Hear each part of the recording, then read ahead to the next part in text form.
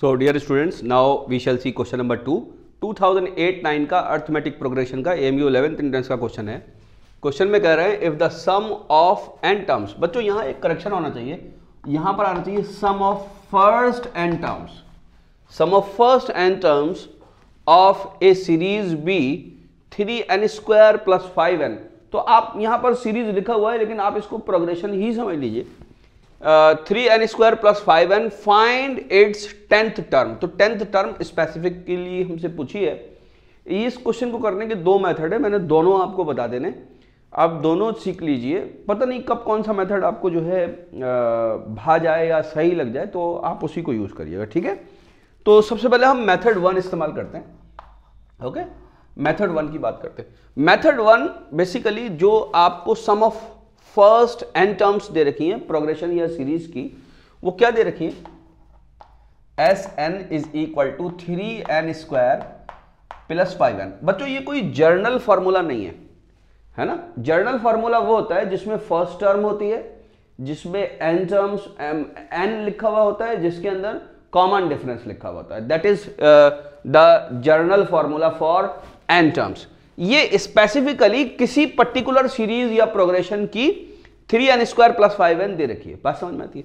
Journal formula क्या होता है? जर्नल फॉर्मूला होता है बच्चों S n is equal to n by two two a plus n minus one into d अगर आपको लिखना है तो आप लिख लीजिएगा where n is the number of terms या number of number of the last term है जिस टर्म की बात करने जा रहे हैं a is the first term n again वही पुराना वाला पुराना वाला एन है और d is the common difference बात क्लियर ओके तो ये गिवन है ऊपर वाली और ये जर्नल है।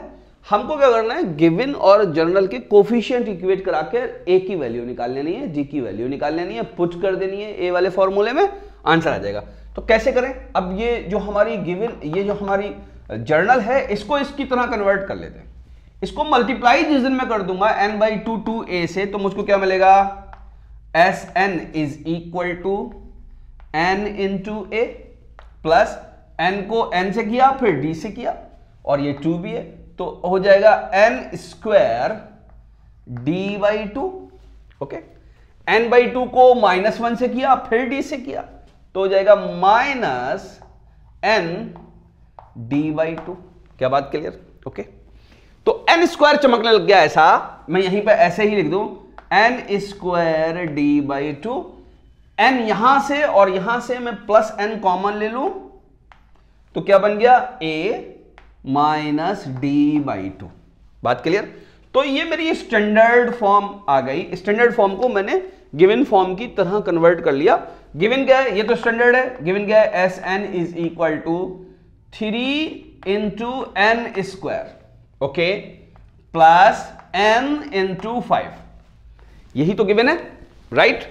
अब देखिए यहाँ से मुझे ये पता लग गया कोफिशियंट इक्वेट कराऊँगा मैं एन स्क्वायर का कि d by two is equal to three d by two is equal to three which gives me d is equal to six right अच्छा d is equal to six आ चुका है यहाँ से N का जो coefficient है वो किसके बराबर है? फाइव के बराबर है. ओके okay, तो a minus six by two d we have just calculated okay is equal to what five तो ये तो आपका थ्री हो गया, उधर जाके ऐड हो जाएगा तो ए इज़ इक्वल टू क्या आ गया बच्चों? एट आ गया। Now we have a and d we can easily calculate the value of the tenth term ठीक है? फॉर्मूला क्या है बच्चों? A n is equal to a plus n minus one into d तो ए टेन किसके बराबर हो जाएगा? ए टेन बराबर हो जाएगा a plus ten minus one is equal to nine nine d के बराबर हो जाएगा। बच्चों, ये डायरेक्ट लिखने की याद डालिए। N th term is equal to a plus n minus one d तो अगर मुझे अस्सीवीं टर्म निकालनी है एट्टीएथ टर्म निकालनी है तो क्या हो जाएगा? A plus seventy nine d हो जाएगा। क्या बात क्लियर है? ओके वैल्यू पुट कर दूँगा टेंथ टर्म की निकालने के लिए। ए की वैल्यू कितनी आई बच्चों? ए की वैल्यू आई एट ओके आठ प्लस डी की वैल्यू कितनी आई? छः। तो नाइन इंटू सिक्स आठ प्लस नौ छिका चौवन होते हैं।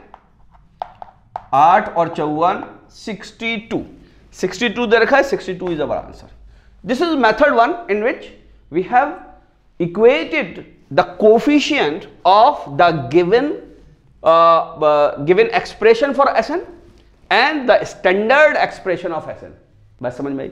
अब हम मेथड टू इस्तेमाल करेंगे। इसको नोट कर लीजिए। अगर आपको पसंद आए तो इस मेथड से कीजिए। दूसरा मेथड भी समझ लीजिए। कंपटीशन है। कौन सा मेथड कहाँ इस्तेमाल करना पड़ जाए? कुछ पता नहीं। Now I will talk about method number two okay method number two quite impressive है। अगर आपके समझ में आता है तो। देखिए एस एन मुझको दे रखा है। S n is equal to three n square plus five n okay मैं मेथड टू इस्तेमाल कर रहा हूँ। ध्यान से समझिएगा। मुझको क्या निकालना है? मुझको निकालना है ए टेन निकालना है। ये निकालना है। ध्यान से समझिए। कोई भी ए एन मुझे निकालनी होती है तो मैं कैसे निकाल सकता हूँ? एस एन में से अगर मैं एस एन माइनस वन को माइनस कर दूँ तो मेरे पास आंसर आ जाएगा। ये बात याद रखिएगा आप। क्या बात क्लियर है हाँ। आंसर आ जाता है ऐसे ठीक है? तो यानी मुझे अगर ए टेन निकालनी है ए टेन निकालनी है तो मैं एस टेन निकाल लूँ, उसमें से मैं क्या माइनस कर दूँ? एस नाइन को माइनस कर। तो यानी एस टेन और एस नाइन निकालनी है, इसका मतलब इस एक्सप्रेशन में एन की वैल्यू एक बार टेन रखूँगा, ये आ जाएगी। एक बार नाइन रखूँगा, ये आ जाएगी। क्या बात क्लियर है? तो एस टेन किसके बराबर हो जाएगा? ध्यान से देखिए एस टेन एस टेन अगर यहाँ निकाल लू अलग आई होप परेशानी नहीं होगी आपको थ्री इंटू टेन का स्क्वायर यानी के सौ प्लस फाइव इंटू टेन यानी कि कितना? पचास, तीन सौ पचास आ गया आपके पास। क्या चीज़ आ गई है? S ten let me put it over here three fifty minus s nine भी निकाल लेता हूँ ऐसी एस नाइन है ना? नाइन नाइन जा। नौ में इक्यासी इंटू तीन। क्या बात समझ में आई?